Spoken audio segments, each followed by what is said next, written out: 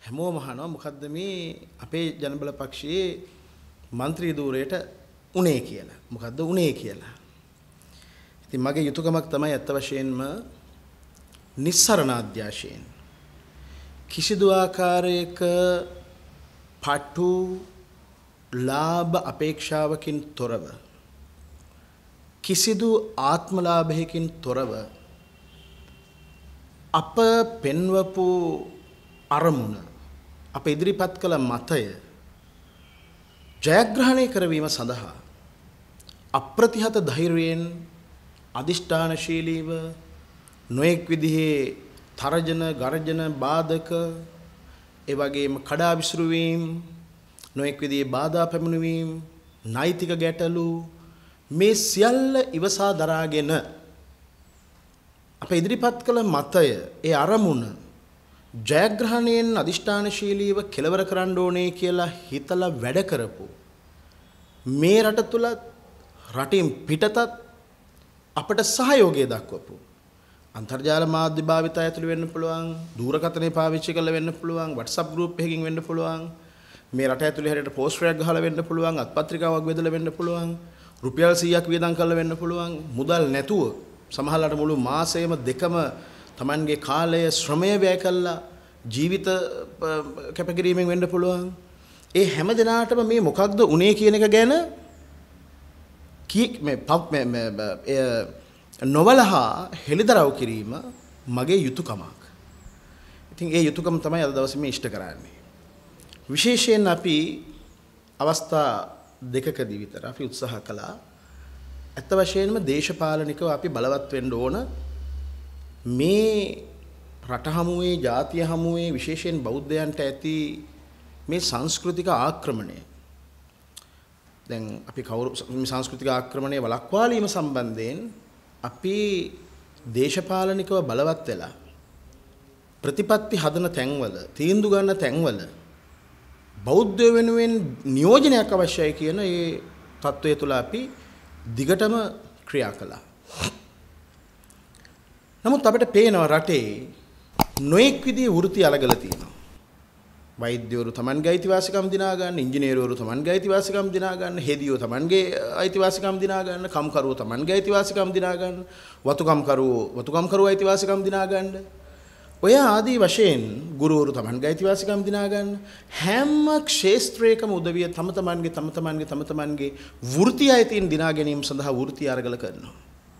හැබැයි හැමෝටම අමතක කරලා තියෙනවා තමන්ගේ රට ගැන. තමන් නියෝජනය කරන ජාතිය ගැන. ඒ ජාතිය හමුවේ තියෙන අභියෝග මොනවද? සංස්කෘතික ආක්‍රමණය මොකක්ද? බෞද්ධයන්ට රහිව ක්‍රියාත්මක වන මිත්‍යා දෘෂ්ටික බලවේග මොනවද? මේවා පිළිබඳ ප්‍රාමාණික කියවීමක් හෝ මේවා පිළිබඳ විශ්ලේෂණාත්මක සාකච්ඡාවක් ඇත්ත වශයෙන්ම ඇති වෙලා නැහැ. ඉතින් මේ සියල්ල සලකා බලලා අපි තීරණය කෙරුවා මහමැතිවරණෙදී පාර්ලිමේන්තු වරමක් ලබාගෙන මන්ත්‍රී ආසන දෙකක් තුනක් ලබාගෙන අපේ රතන හාමුදුරන්ගේ නායකත්වයෙන් මේ වැඩපිළිවෙල ක්‍රියාත්මක කරන්න.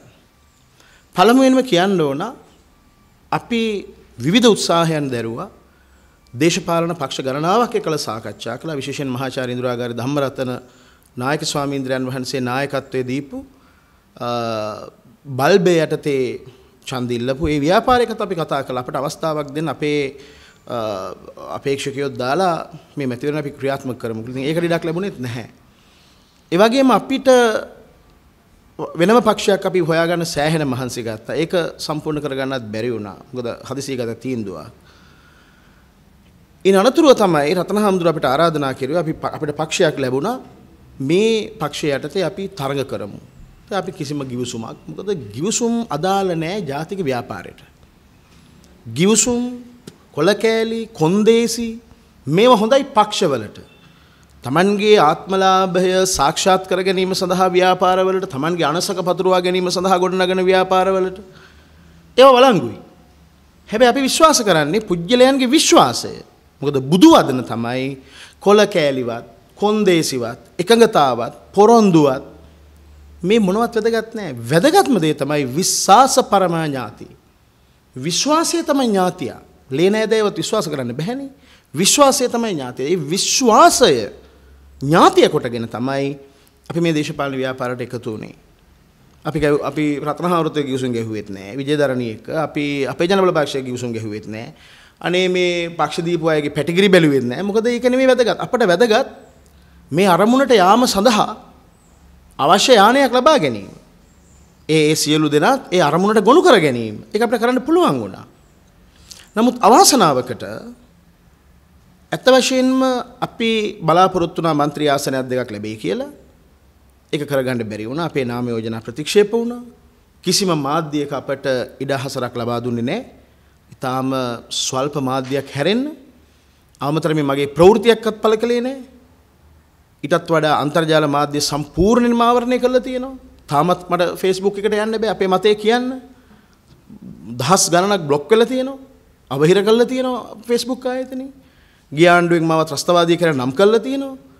මෙච්චර මේ ජාතික අරමුණ ගොඩනගන්න කැපවෙච්ච මට මොකද මොකද්ද කරලා තියෙන සාධාරණේ පොලිස්පතිට කිව්වා ආරක්ෂක ලේකම්ට කිව්වා අපරාධ පරීක්ෂණ දෙපාර්තමේන්තුවට කිව්වා අදාළ සියලු බලධරයන්ට කිව්වා අදටත් අන්තර්ජාල මාධ්‍යවත් අපට ඉඩක් නැහැ. මිනිස්සු අහනවා ඇයි හාමුදුරුවෝ නිහඬ කියලා.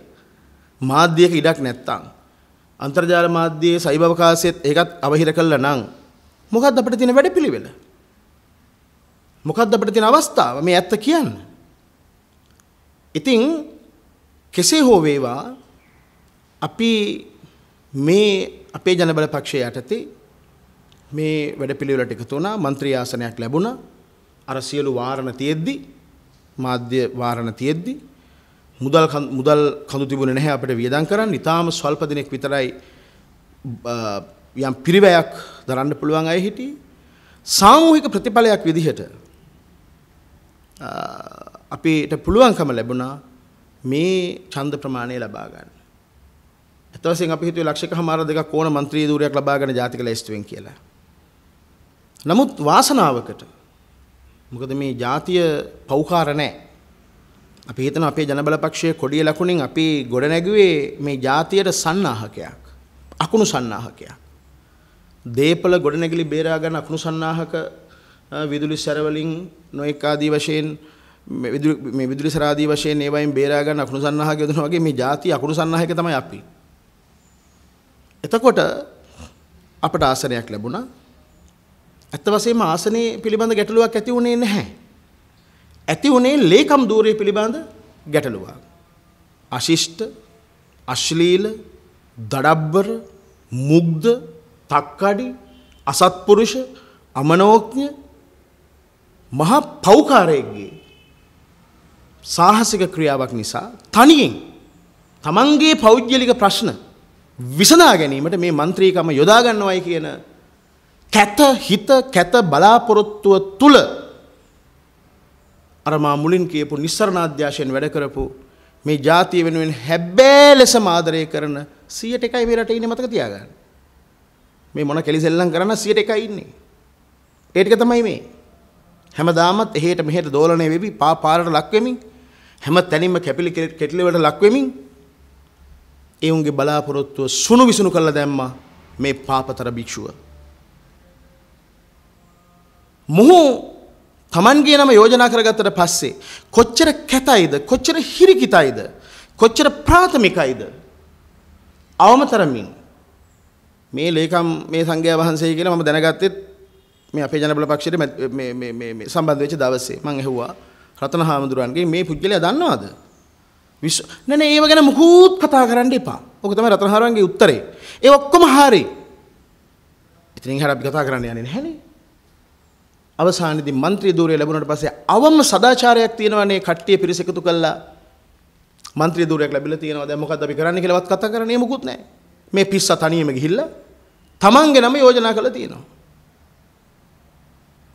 එතකොට මැතිවරණ නීතිය අනුව කොහොමත් මට පළවෙනිවෙන් යන්න බෑ කවුරු හරි ගිහිල්ලා ඉල්ලා අසලා මට අවස්ථාව දෙන්න ඕන. නමුත් මේ පුද්ගලයා පක්ෂයේ සභාපති සමන් පෙරේර මහත්මයාටවත් මේ පක්ෂයේ මේ වැඩ පිළිවෙල ගොඩනගන නායකත්වය දෙනු රතන හාමුදුරුවන්ටවත් ඒකට යම්කිසි ශක්තියක් එකතු කරපු අපටවත් නොකිය කිසිම සාකච්ඡාවක් නැතු උදේ පාන්දරම යනවා මැතිවරණ කොමසාරිස් කාර්යාලයට. යනකොට රතන හාමුදුරුවන්ගේ කණ්ඩායමක් එතන වට කරගෙන ඉන්නවා. මම ඇත්ත කියන්නේ අපේ ඡන්දෙට මිලක් නැහැ. අපේ ඡන්දෙට මිලක් නැහැ. එනිසා ඇත්ත කියන්න ඕන මිනිස්සුන්ට. නැත්තම් හෙට දවසේ අපේ වචන මිනිස්සු විශ්වාස කරන්නේ නැතුව යනවා. කොලේ හංගල වහලා එහෙම මේක කරන්න බෑ. අවසානයේදී විමලතිස්ස මොකද කරන්නේ? ඔය කියන පෞකාරය ජඩය මෙයා යනවා බැසිල් රාජපක්ෂ මහත්තයාගේ කාර්යාලයට.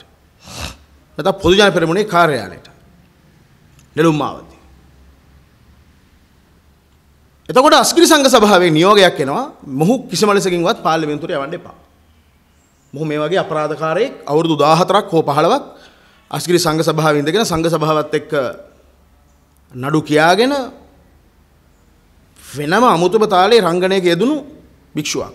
ඒක එයාට ප්‍රශ්න තියෙන උගේ මොනවද තියෙනවා මේ හීන ලෝකයක් දලඳාවයිති උටලු උගේ પરම්පරාවටලු අස්ගිරියට දෙන්න ඕලු රිදෙන්න වැටෙන්න ඔය වගේ මහා මතිමතාන්තරයක් ගොඩනගාගෙන ඉපිෂුව. වැහි වතුර විතරයි බොන්නේ. ඉතින් අපිට ඒක අදාළ නැහැ කෙසේ හෝ වේවා අසිරි සංඝ සභාව ජනාධිපතිවරගෙන් ඉල්ලලා තියෙනවා මේ හාමුදුරුවෝ යවන්න එපා. ප්‍රශ්නේ තවත් සංකීර්ණ වුණා. මොන විදියෙන් හරි රතන හාමුදුරුවෝ විමලතිස්ස හිමික කතා කළා රතන හාමුදුරුවන්ගේ නම යෝජනා කරගෙන තියෙනවා. ඒ ලියුමත් ගිහලා බාර දීලා තියෙනවා. පක්ෂයේ ලේකම් හැටියට විමලතිස්ස හිමියන්ගේ අස්සරින් රතන හාමුදුරුවෝ පාර්ලිමේන්තුවට යවන්න එයා අස්සම් කරනවා කියලා. මේ සංඝයා වහන්සේ උදේම ලියුම දීපු නිසා කිසිම සාකච්ඡාවකින් හෝ එකඟතාවයකින් තොරව පක්ෂයේ සභාපති සමන් පෙරේර මහත්මයා මැතිවරණ කොමසාරිස්තුමාට දුරකථනයෙන් කතා කරලා කියලා තියෙනවා. ඒක සටහන් කරලා තියෙනවා මැතිවරණ කොමසාරිස්වරයා හිටපු Tamanගේ පොතේ. මම හිතන උදෑසන කාලේ 11ට හෝ 12ට മന്ത്രി ධූරේ පැහැරගෙන ගිහලා තියෙනවා විමලතිස්ස කියලා භික්ෂුවක්. මේ ලේකම් හෙට පෙනී හිටපු කෙනා ඔහු తాවකාලිකව පත් කරගත්තේ. ඔහුගේ ලේකම් ධූරේ සහ ඔහුගේ ලියුම ප්‍රතික්ෂේප කළා. Tamanගේ පරණ හිටපු ලේකම්වරයා පිළිගන්න කියලා. ප්‍රශ්න තවත් සංකීර්ණ වුණා. අවසානයේදී මැතිවරණ කොමසාරිස්වරයාගේ උපදේශය වුණේ මඟ පෙන්වීම වුණේ වහාම නඩු මාර්ගයට යන්න. ඒ අනුව පක්ෂයේ විසින් නඩු මගට ගියා. එතන සුප්‍රීම කෝර්ට් එකේ නඩුව තියෙනවා. ඔය අතරතුරේදී මිනිස්සු අහනවා හාමුදුරනේ ඇයි මේ අපරාධය ඔයගොල්ලන්ට කතා කරලා මේක විසඳ ගන්න බැරිද? මේක සාකච්ඡා කරලා විසඳ ගන්න බැරිද? අපරාධයක්නේ අපි කොහොමද පාරට බහින්නේ? විලි ලැජ්ජයි නේද? ඇත්තනේ. ඔය අතරතුරේදී අපි වරින් වර වරින් වර මේ විමලතිස්ස භික්ෂුව මොකද මැතිවරණ කොමසෙන් කියනවා විමලතිස්සගේ ලියුම ඉල්ලාස් කරගන්න ඕන හැමෝම එකට එකඟ වෙන්න ඕන මේක මොකක් හරි කරන්න. ඒ අනුව මේ මිනිස්සෙක් කතා කරනකොට යම් කිසි එකකතාවයකට එනකොට තව කොන්දේසියක් දානවා. අවසානයේදී කෝටි 5 10 ඉල්ලන තැනටපත් වුණා මේ පිස්සා. මේ ලියුම දෙන්න. වාහන පමිට් එක ඉල්ලන මොන හරි උගේ ප්‍රශ්න විසඳ ගන්න. උට පන්සලක් ඕනලු. අස්ගිරියෙන් පන්සල කුඩු කරපින්ද අස්ගිරිය ප්‍රශ්න ඒගොල්ලෝ විසඳ ගන්න ඕන. මේ മന്ത്രിකමත් එක මේක වද්ද කළා. මොන අපරාධයක්ද මේ? මේක පුදුම අවාසනාවක්. අවසානයේදී එකඟතාවයකට ආවා. රතනහාමුදුරුවෝ දිගින් දිගටම ඉල්ල හිටියා. උන්වහන්සේට මාස 6ක්වත් පාර්ලිමේන්තුවට යන්න ඕන. තව අය අවුරුද්දක් දෙන්න කිව්වා. මං කිව්වා මේ කාල නිර්ණය ප්‍රශ්නයක් නෙමෙයි. කවුද පාර්ලිමේන්තු යන්නේ කියන එක නෙමෙයි වැදගත්. අපි මිනිස්සුන්ට කියපු දෙයක් තියෙනවා. මේක මහ පොළොවේ අපි ඉෂ්ට කරන්න ඕන. ඒ නිසා පුජ්‍යලයෝ මෙතන අද අදාළ නැහැ. මිනිස්සුන්ට කියපු දේ කරමු. ඒ අනුව විමල තිස්සේගේ කතන්දර කියනවා. මේ මෝඩයා කොච්චර මෝඩයක්ද කිව්වොත් චන්දිල්ලේ ඔක්කොට മന്ത്രിකම් බෙදා දෙමු කොනේ මාසෙ එක ගානේ. මාසෙ ගානේ ඒ වගේ මිනිස්සෙක්. මොන හරි කතාවක් කරලා පක්ෂ ලේකම්කම ඉල්ලනවා. ඔය වගේ හැන්ඩි ලොකු ලොකු ඒ කියන්නේ මිනිහා මෙහෙයුව කවුරු හරි ආණ්ඩුවේ. එයාට රැකවරණේ දීගෙන ආණ්ඩුවේ කවුරුහරි මෙහෙයුව මේක. ඒක තමයි ඇත්ත. ඒක තමයි ඇත්ත. මොකද අපි පාර්ලිමේන්තුවට පය තියනවට කැමති නෑ ගොඩක් අය. කෙසේ හෝ වේවා රතන හාමුදුරුව මාස 6ක් පාර්ලිමේන්තුවට යන්න ඉඩ ඉල්ලනකොට පක්ෂයේ සභාපති සමන් පෙරේර මහත්මයා සම්පූර්ණයකට විරුද්ධව හිටියා. විමලතිස් එකඟ වුණත් රතන හාමුදුරුවෝ යවන්න අපි එකඟ වුණත් සමන් පෙරේර කිව්වා නෑ මට යවන්න බෑ. මට අස්සම් කරන්න බෑ. ඒ හාමුදුරුවෝ මාව විනාශ කළා. දැන් එකතාවයක් නෑ. ඒපාර දෙවනෝ සාකච්ඡා කළා. එහෙනම් සමන් පෙරේර මහත්මයා යන්න. එතකොට රතන හාමුදුරුවෝ ලියුම ඉල්ලාස් කරගන්නේ නැහැ. ද්වන්ද සටනක්. දැන් තුන් දෙනාගේ සටන ද්වන්ද සටනකට එනවා ඒ පාර. අවසානයේදී මම මැදිහත් වෙලා විමලතිස්ස ආදී සියලු දෙනා කැඳවලා මම කිව්වා රතන හාමුදුරුවන්ට ඒ අවස්ථාව දෙන්න. වතාවක් දෙවතාවක් තුන් වතාවක් සාකච්ඡා කළා. පස්සේ කොහෙන ඥානසාර හාමුදුරන්ගේ ලියුමකුත් දෙන්න. මම කොහොමම ලියුමක් දෙන්නම්. මම ලියුමක් දෙන්නම්. මම ලියුමක් දුන්නා. මේ മന്ത്രി දුරේ සම්බන්ධයෙන් ඒ සුදුසු කාලයකට රතන හාමුදුරන්ට මේක ලබා දෙන්න මගේ කිසිම විරෝධතාවයක් නැහැ. ඉක්මනින් මේ කාර්යය කරන්න. නමුත් ඒක මැති වෙන කොමසාරිස් කාර්යාලයට යවන්න හම්බුනේ නැහැ. සමන් පෙරේර මහත්මයා කිව්වා කලබල වෙන්න එපා පොඩ්ඩක් ඉවසමු. තුන්වෙනි සාකච්ඡාවට වෙනකොට අපි තේරුම් ගත්තා විමල තිස්ස එක මේක කරන්න බෑ. ඔහු ලියුම ඉස්ලාස් කරගන්නෙත් නෑ. ඒකේ කොන්දේසි දානවා. මේක අපිට පේනවා මේක වටේ යවනවා, කඩේ යවනවා, මේක විනාශ කරනවා. නඩු දාගෙන ඔක ගියොත් තව අවුරුදු දෙක තුනක් ඔක ගත වෙනවා. අපරාධි. මොනවා හරි මේ රටේ ප්‍රශ්නයක් ගැන කතා කරන්න තියෙන අවස්ථාව. මොකද අපි හිතනවා දේශපාලනිකව බෞද්ධයෝ බලවත් වෙන්න ඕන. බෞද්ධයන්ගේ ආරක්ෂාව සිංහලයන්ගේ ආරක්ෂාව ගැන කතා කළාට මං හිතන්නේ ඒ ප්‍රතිඵලයක් ලැබිලා තියෙනවා කියලා. ඒ ප්‍රතිපත්ති හදන තැන්වල ඒවා ක්‍රියාත්මක කරන තැන්වල බෞද්ධ බලය ගොඩනගන්නයි අපිට ඕන උනේ. ඒ අවස්ථාව නැති වෙලා තියෙනවා. ඒ නිසා අපි පියවරක් දෙකක් ආපස්සට ගිහිල්ලා අපි කැපකිරීම කරන්න ඕන. ඒ කැපකිරීම අනුව අපි කිව්වා රතන හාමුදුරන්ට යන්න. ප්‍රශ්නයක් නැහැ. හැබැයි කිසිම කොන්දේසියක් නැහැ. කොළපත්‍ර නැහැ, ගිවිසුම් නැහැ, යෝජනා නැහැ, පොරොන්දු නැහැ. ඒවා කොළ කෑලි. මේක විශ්වාසය මත පදනම වහන්සේ ගිහිල්ලා උන්වහන්සේට ගිහිල්ලා හෙට හිතනවා හෙට අයින් වෙන්න. මාස තුනකින් ඕනනම් මාස තුනෙන් අයින් වෙන්න. අවුරුද්දෙන් ඕනනම් අවුරුද්දෙන් ඉන්න. තත් පහම නම් පහ වින්න අපිට ප්‍රශ්නයක් නැහැ ඒක. අපිට ප්‍රශ්නයක් නැහැ ඒක. ඒ අනුව සමන් මහත්තයත් එකඟ වුණා. අපිත් එකඟ වුණා.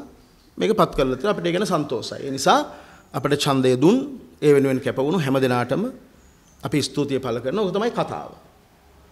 සමන් මහත්මයා විරුද්ධව හිටියා. රතන හාමුදුරුවෝ විරුද්ධව හිටියා. හැබැයි මම ඒගොල්ලන් ඉල්ලුවා. මම ඔබ දෙපළටම අවස්ථාව දුන්නා. මට දෙන්න මේ අවස්ථාව. මේක මගේ අවස්ථාව. ඉතින් ඒකට ලොකු එකගතාවයක් නෙමෙයි. අපි සමහර පුජුල අපි යෝජනා කළාම ඒ මනුස්සයත් ඉන්නවනේ මාස 6ක් ඉන්න ඕන කියලා. ඒ වගේ හරි මහා අපබ්‍රංශයක්. ඒ අනුව අපි හාමුදුරුවරුනේ අත්හැරීම කියන දේ මිනිස්සුන්ට කියලා බෑ. අපි අතහරින්න ඕන. ඒ ආදර්ශය අපි දෙන්න ඕන. ඒ අනුව ඒ ධර්මතාවය මත පිහිටලා ජාතියේ නාමයෙන් කුලල් කා ගන්න නැතුව මේක හොඳ විදිහට විසඳ ගන්න අපිට අවස්ථාව ලැබුණා. ඉතින් ඒ අනුව දැන් උන්වහන්සේ മന്ത്രി ධූරේ කටයුතු කරයි. අපේ අපිට ඡන්දය දුන් විහිසුණු මහන්සුණු හැමෝටම කියනවා මේක කුලල් කා ගන්න එකිනෙකාට චෝදනා කරගන්න බනින්න වෛරය ඇති කරගන්න ඕන නැහැ. අපි ජාතිය හමුවේ තියෙන අනතුර තේරුම් අරගෙන එකවන්න වැඩ කරන්න ඕන. මේක තමයි දේශපාලනය.